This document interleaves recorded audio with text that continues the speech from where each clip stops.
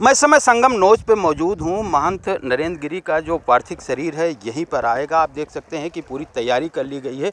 ये तखत यहाँ पर संगम नोज़ पर लगा दिया गया है। संत महात्माओं का आने का सिलसिला शुरू हो गया है। अब से थोड़ी देर में मठ बाघम्बरी से उनका जो पार्थिव शरीर है, वो रवाना हो गया है। थोड़ी देर में यही संगम नोज़ है, यहाँ पर उनका पार्थिव शरीर आएगा। जो उनका संस्कार होगा, यहीं पर किया जाएगा। इसके लिए आप देख सकते हैं कि चारों तरफ़ से बैरिकेटिंग कर दी गई है। सुरक्षा के चाक चौबंद व्यवस्था कर दी दी गई है। जो श्रद्धालु संगम पर आ रहे हैं, उनको यहाँ आने की किसी तरह की कोई इजाज़त नहीं दी जा रही है।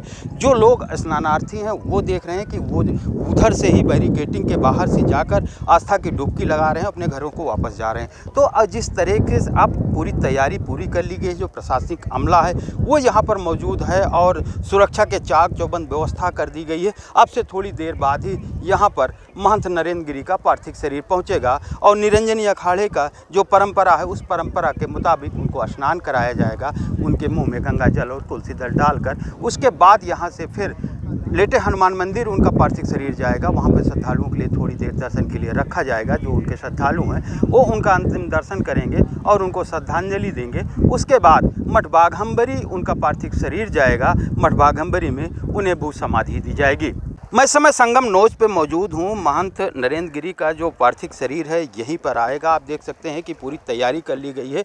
ये तखत यहाँ पर संगम नोज़ पर लगा दिया गया है। संत महात्माओं का आने का सिलसिला शुरू हो गया है। अब से थोड़ी देर में मठ बाघम्बरी से उनका जो पार्थिव शरीर है, वो रवाना हो गया है। थोड़ी देर में यही संगम नोज़ है, यहाँ पर उनका पार्थिव शरीर आएगा। जो उनका संस्कार होगा, यहीं पर किया जाएगा। इसके लिए आप देख सकते हैं कि चारों तरफ़ से बैरिकेटिंग कर दी गई है। सुरक्षा के चाक चौबंद व्यवस्था कर दी दी गई है। जो श्रद्धालु संगम पर आ रहे हैं, उनको यहाँ आने की किसी तरह की कोई इजाज़त नहीं दी जा रही है।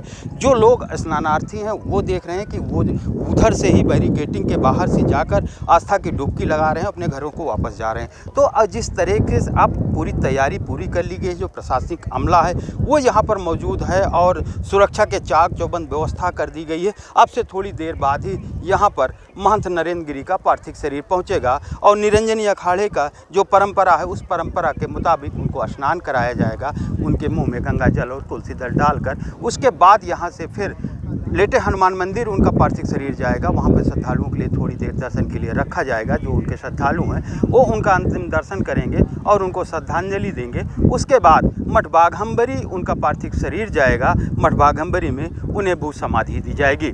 अपने सहयोगी यासीन के साथ धीरेन्द्र द्विवेदी, भारत समाचार प्रयागराज।